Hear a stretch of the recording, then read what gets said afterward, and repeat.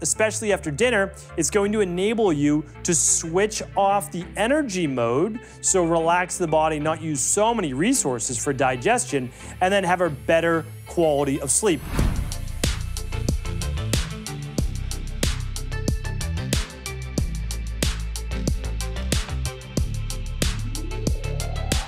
Welcome back, everybody. Glad to have you here today. Appreciate the support of the Cabral concept. Today is 2706. That's today's show. I want to share with you the five big takeaways if you want to check them out at stephencabral.com slash 2706. That's today's show notes because we're going to be going over five different ways to get into a fasted state faster after meals. The reason why this is important is well, there's many different reasons, but let's at least share the most important ones.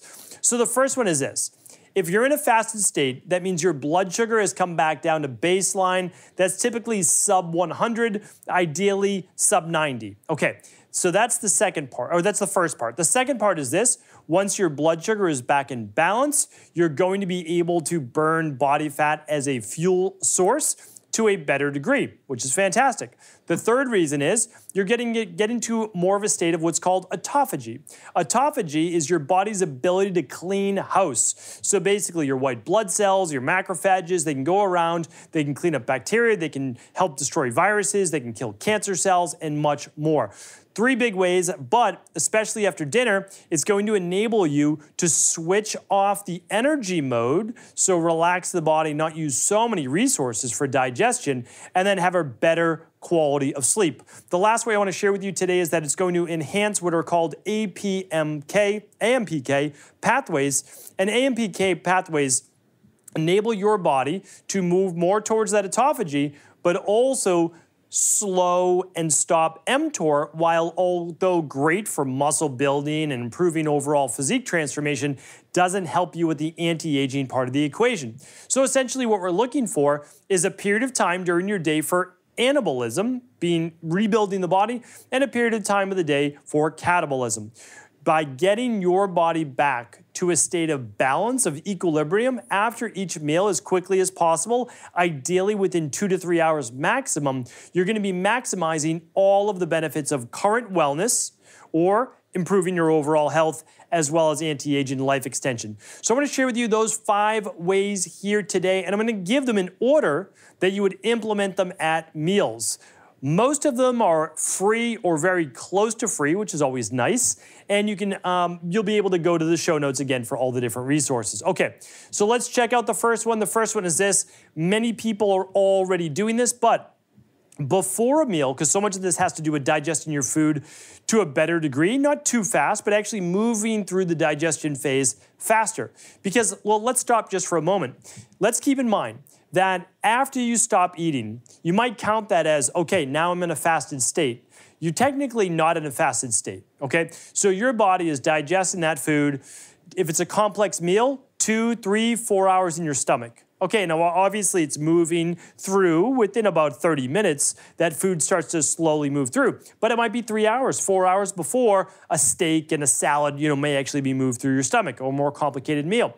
Okay, but after that, it's in your small intestine, and the food is still being broken down then for another three to six hours or so. And then after that, it's basically the process of um, extracting vitamins, minerals, actually making some of those vitamins and minerals inside the small intestine, neurotransmitters, and so much more. But let's assume that we're looking at a good six hours, you know, of the digestive-based process. But for all, all intents and purposes, if we can move the food through the stomach within about two to three hours time, good chewing of the food. And, and point number one, which I'm about to mention in a moment, let's really count the let's really count the fast as starting within a couple hours of the meal once that blood sugar starts to return to baseline. So that's our that's really our gold standard of what we're looking for right now because everything else is much more challenging to figure out if the food's in your stomach or not or what part of the small intestine is it in the duodenum is it in the um, jejunum is it in the ileum right? We're not going to be able to figure that out that, that's okay. We don't need to get that granular.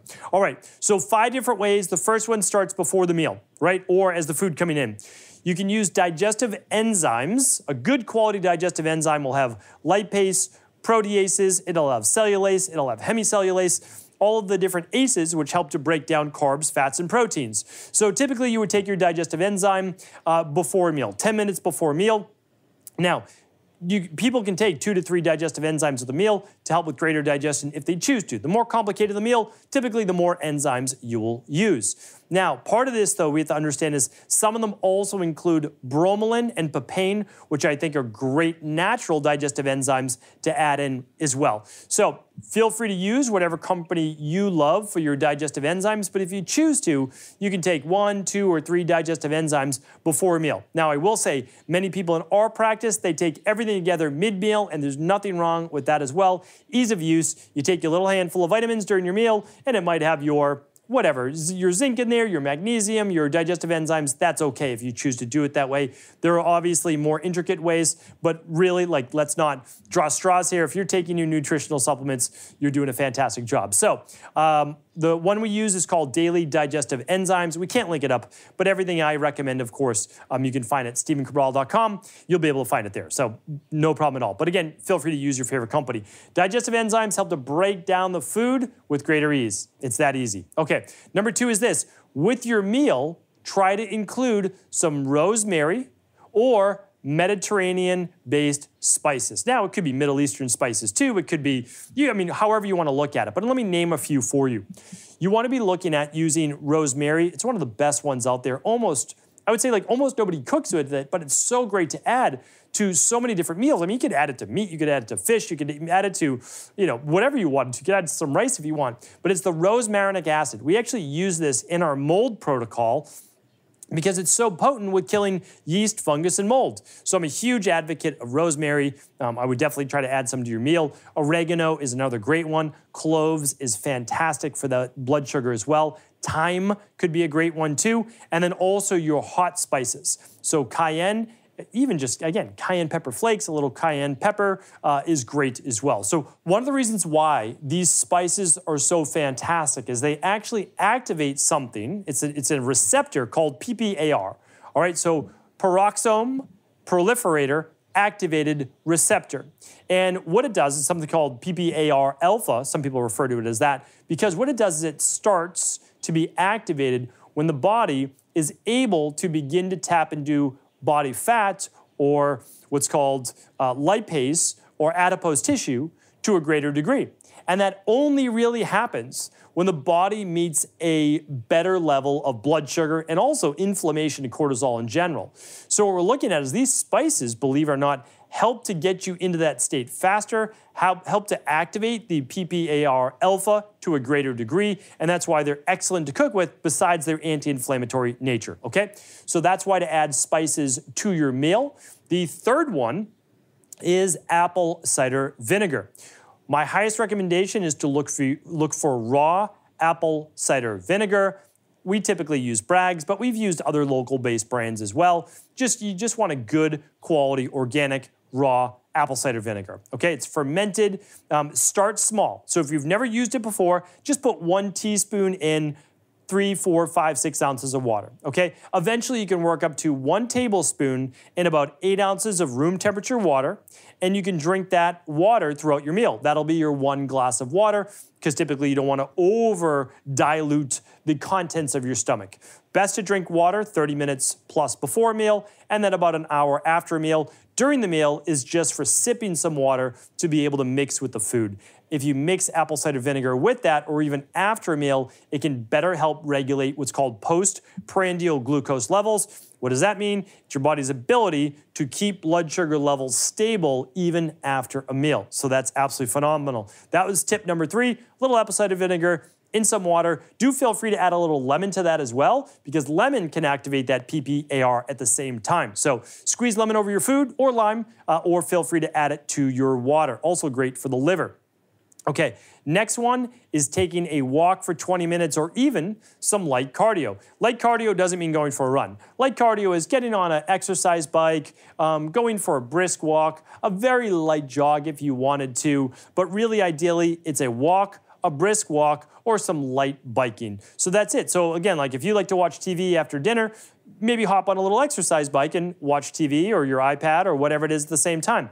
Even better, get outside, try to get some fresh air, look at that setting sun. That's going to help with sleep that night. That will help again with what's called postprandial glucose levels, not letting the blood sugar levels spike too high, which then is going to enable you to produce more of that AMPK, as well as getting you into a greater state of digestion before bed and eventually autophagy, which helps to clean up the body. So that was tip number four. The fifth one is having a cup of hot ginger tea to end your night. Now, again, you can squeeze some lemon to that if you want, or even a little add a little bit of your ACV. That's okay. I would actually just say keep it simple, keep it how I've laid it out. Just have a cup of ginger tea while you're uh, seated on the couch or hanging out, whatever it is that you're doing. That's going to help finish off that digestion. It's amazing for being able to even soothe um, the stomach, being great for liver as well as kidney-based detoxification. It is a powerful uh, anti-cancer herb. So ginger tea is one of the best ones out there.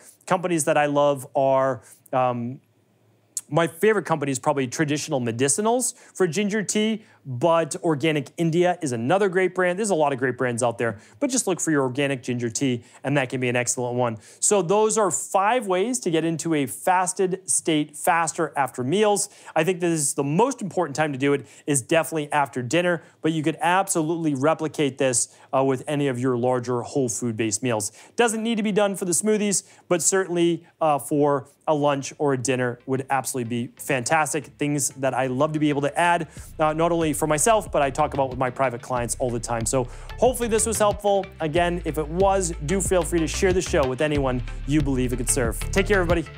Thanks so much for tuning into today's show. Before you go, don't forget to hit that subscribe button. I want to make sure that you're getting our daily content, not missing out on anything functional medicine, wellness, weight gain, weight loss, anti aging, living longer, stronger, and all of the most cutting edge research.